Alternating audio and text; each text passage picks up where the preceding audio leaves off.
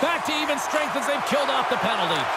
Now there's players on the bench that would kill for that opportunity. Just no urgency whatsoever from that power play unit and didn't generate any momentum. They scores!